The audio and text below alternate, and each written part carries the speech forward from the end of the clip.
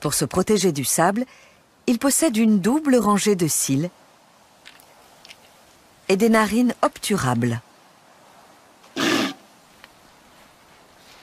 Ils sont aussi connus pour leur aptitude à rester très longtemps sans boire, en partie grâce à leurs reins et leurs intestins qui retiennent l'eau. Pour plus d'informations, retrouvez-nous sur camalidé.com.